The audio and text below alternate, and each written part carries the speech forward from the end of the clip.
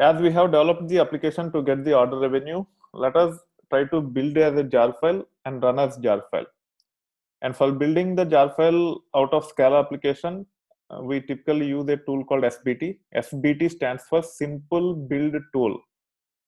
And Scala can be compiled, I mean, Scala applications can be compiled into jar files using other tools also, such as Maven and many other Java based compiler tools, but SBT is the most popular one. So, first, let us understand how to set up SBT and we'll take it from there. So, I'm opening the browser. You can just go to scala-sbt.org download.html or you can just Google SBT download and you can click on this.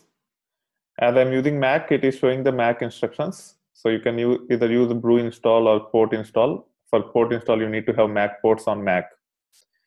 And then once it is set up, you can just run SBT and hit enter and it will actually um, launch SBT console for you. Once the SBT console is launched, that means you have SBT set up properly.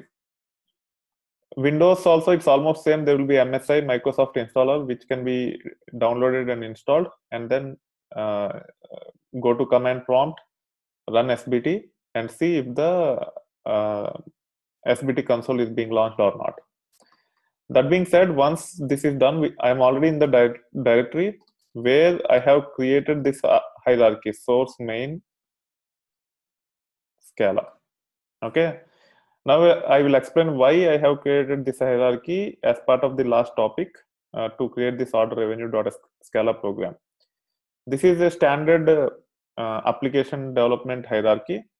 So source stands for source code main which means the the main module uh, for the for the application. And scala is the programming language.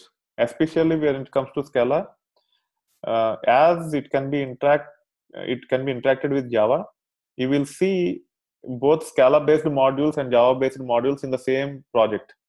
That's why uh, the programming language is more important with when you try to develop applications uh, which are scala based if you have some components developed in Java, you can just create another directory, source main Java, and you can have the Java based source code in that directory. And also, we will have job resources in source main resources um, for this uh, module, so on and so forth. There can be many directories like that. That being said, um, once you have this hierarchy, so wherever this hierarchy is, that is called as base directory of that project or application or module.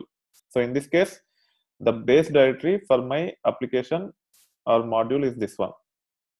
So in this base directory where this hierarchy starts, we need to create a file called build.sbt. If you are familiar with Maven, you have pom.xml. Same is the case with uh, SBT, we have build.sbt. Okay. In this, we can define the name of our application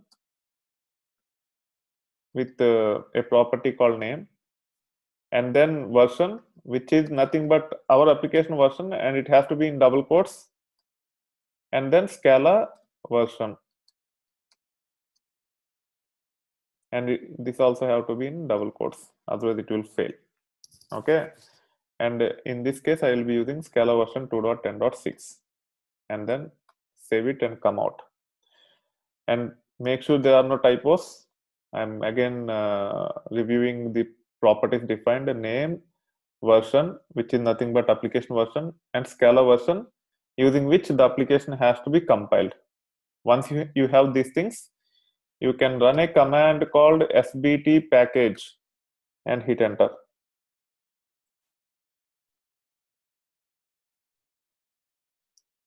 Okay, so you can see that it has compiled uh, our program or our module into uh, into classes in this location and then it built the jar file. Before doing these things on top of these three properties uh, in build.sbt you can also define dependencies. If you have def defined dependencies then before compiling and packaging it will actually download all those dependencies and then it will compile and package. And we will see that at a uh, later point in time about how to add the dependencies and uh, uh, use them as part of the application. But for now we don't have any dependencies for the small application so we will be going forward like this only. Okay now the program is compiled into classes and you can review those things by copying this path and saying lsltr you can see our one Scala program is compiled into five classes, which is nothing but Java bytecode, which can be interpreted by JVM. And then it also created this jar file. You can copy this. As of now, our program doesn't take any arguments, so we can uh, uh, we should be able to run this without any issues uh, directly by using either SBT run so with SBT run, you don't need to specify any jar file name or anything. You just say SBT run. It will run the program. And you can see the output here. And another way of running uh, this jar file is by using Scala itself. Scala, paste that uh, jar file path and hit enter. It ran and we see the result immediately. Okay. So this is how you can uh, uh build your program into jar file and uh, run as jar file. Quite often the jar file will have many classes with main function. If there are more than one class with the main function you just have to give the class name also. Uh, class in the sense object name uh, which have the main function. In our case it is order revenue. Okay you can see the result. I will use the relative path so that you can understand. Scala 2 10 and then order revenue. And also you, you need to understand the rationale behind this structure.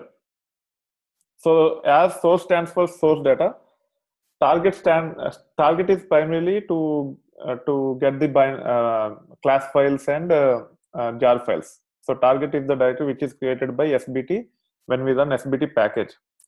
In that if you see there is a directory called scala-2.10 so scala is the programming language uh, using which uh, it is compiled. Okay? And 2.10 is the version which is defined as part of the build.sbt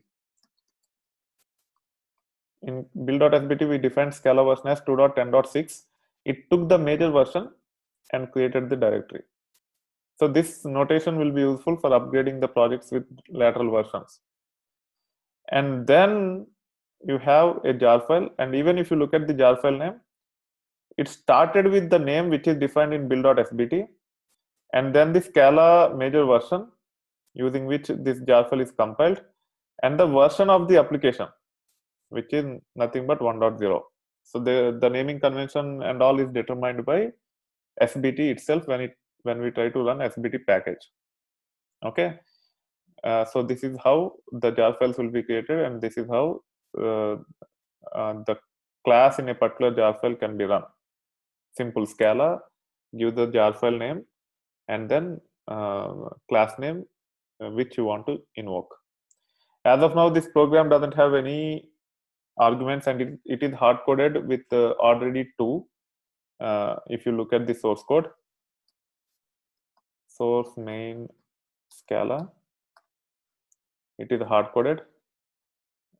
Okay but in reality applications like this we have to pass um, the uh, the order id for which we want to compute order revenue uh, in one form or the other. Uh, one simpler way is we have to pass it as argument and we will see that later how to uh, dynamically pass ID and get the revenue for whatever ID we are looking for. Uh, we will look into that.